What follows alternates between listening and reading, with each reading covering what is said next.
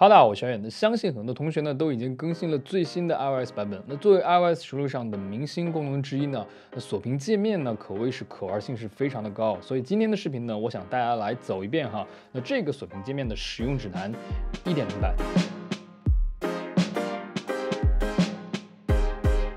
首先呢，如果你想要使用这次的锁屏壁纸的话，你就需要将你的设备。更新到 iOS 十六的版本，那这里是 iOS 支持的清单，然后呢，你只需要点击设置。点击通用，再点击软件更新，就可以把版本更新到 iOS 十六。那更新完成之后呢，你就会看到这样一个全新的锁屏界面。然后呢，你就可以开始设定你自己喜欢的锁屏方式了。当然，设定锁屏界面方法也有三种呢。第一种就是你可以通过直接长按锁屏界面来进行调整。那第二种呢，就是你可以在设置里选择壁纸，点击自定，也可以在这里进行调整。第三种呢，你也可以选择下滑通知栏，在这里长按。进行调整。那当你长按之后呢，你就会进入到这样一个调整的界面。那你可以在这里预览你已经设定过的所有的锁屏样式，也可以选择自定，对当前的锁屏样式进行自定义的调整的。这里呢，我们选择新增一个锁屏样式。那进来之后呢，我们会发现这里呢琳琅满目的有很多系统自带的已经设定好的一些壁纸，但是总体上呢也就分为上面那几种，分别是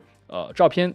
随机照片、表情、天气、天文以及颜色。那另外有一个值得一提的地方就是呢，在下面收藏这个位置的最后面呢，有一个专属的壁纸，是根据手机型号的不同而设定的。那这是十四 Pro 专属的，分别是深空黑、银色。金色以及深紫色，然后呢，我们来介绍一下每款主题的特点啊。那表情符号的这款主题壁纸呢，我个人觉得是真的是非常非常的可爱，属于你自己一个人都在家玩一上午都不会腻的那一种类型的。当你进来之后呢，它就会让你选择系统自带的一些 emoji 的表情，你最多可以选择六个。那我个人比较喜欢的就是这个猪猪头加猪猪鼻子的这样一个表情包，看上去真的心情会非常非常的开心。有一点值得一提的是呢，表情的排列是存。在顺序的意思就是说，A A B B 的排列跟 A B A B 的排列是完全不相同的，所以这一点你需要注意的。那当你选择完 emoji 之后呢，你也可以通过左右滑动来改变它们的排列方式。那这个排列方式真的特别特别的好玩。那我个人呢是比较喜欢这个叫做大图标的排列方式，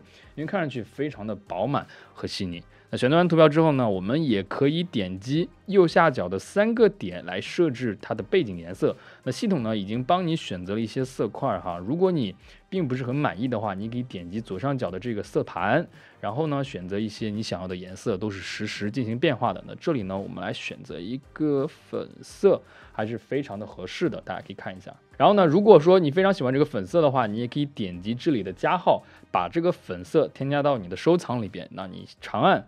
也是可以进行删除的。这里呢，我们就选择这个粉色，我非常非常的喜欢。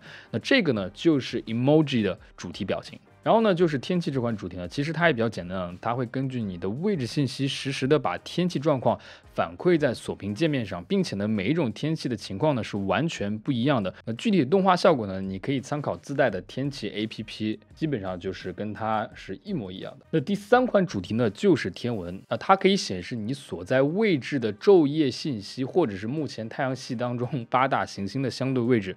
那关于这个天文壁纸，有一个值得一提的地方，就是呢，它并不是一个固定的好的视频，而是一个实时渲染动画。那所有的位置信息是实时渲染的，那所有的昼夜信息也是实时渲染的。所以呢，这才是一个真正的超级壁纸。而且 Apple 动画真的。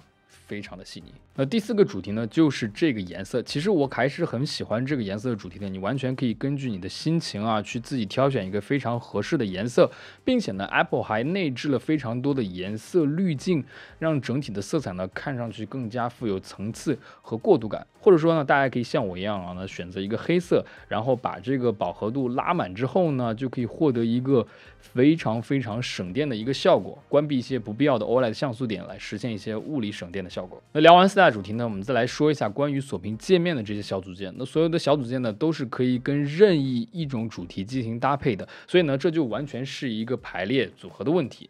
那在目前为止呢，iOS 上可以调整的小组件呢，有三个区域，分别是日期栏目。时间栏目以及小组件栏目，在日期栏目当中呢，无论你选择什么样的小组件，那左侧的日期信息都是会被强制进行保留的。另外呢，可能是我没有下载到支持的应用啊，我能选择的只有系统目前开放的一些小组件，就比方说日历啊、提醒事项啊、骨架啊等等等等。然后呢，在时间的栏目当中呢，你可以对时间的样式进行调整，就比方说呃显示的字体呀，或者是数字的规格呀，或者是颜色啊等等等等，调整的选项是非常多的。那这些颜色可以看到是相互通用的，你改变颜色的话，三个颜色都是会。一起改变的。那在第三个组件当中呢，我们的选择就比较多了。如果你的应用支持的话，我们最多可以添加四个一乘一的小组件。那我自己用的比较多呢，还是天气和电池呢。当然了，这部分的发挥空间就比较大了，所以大家可以自己去 App Store 中搜索关于锁屏的应用程序了。这里呢，我就不再做过多的赘述了。那当你选择完主题，设定好小组件之后呢，你就可以点击添加了。那这个时候呢，系统会询问你是要设定为墙纸对，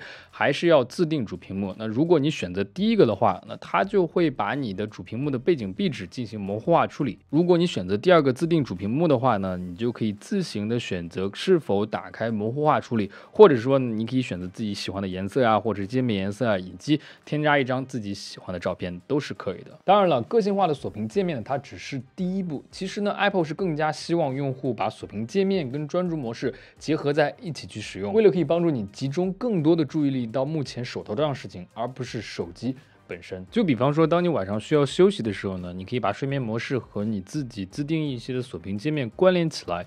那一旦你进入到你设定的睡眠模式之后呢，系统就会自动帮你关联锁屏的样式。那再比方说呢，当你健身的时候呢，你可能会希望有一个看上去非常有能量感的壁纸，那你就可以提前去设定一个具有运动感的锁屏样式和手表表盘，并且如果你再深挖一下的话，你甚至可以为每个模式单独设定你想要的桌面应用。就比方说在健身模式下呢，我只想让让手机变成一个无情的音乐播放机器和运动健康中心，那你只需要在手机的设置专注模式中，嘣，那所有的一切它都会已经帮你设定好了。我感觉呢，这就是 Apple 的生态。当你需要去专注做一件事情的时候，你只需要轻点一个按钮。那所有的设备呢都已经为你准备好了，所以看上去有点花里胡哨的锁屏界面，其实呢它跟 Apple 的生态有一个完全的深度的捆绑。当然了，你完全可以把这个锁屏界面当成手机个性化的一部分，但是呢你不可否认的是呢，Apple 对于用户体验上的对手真的只有它自己了。好了，这就是本期视频。如果大家喜欢我的视频的话，请一定要给我一个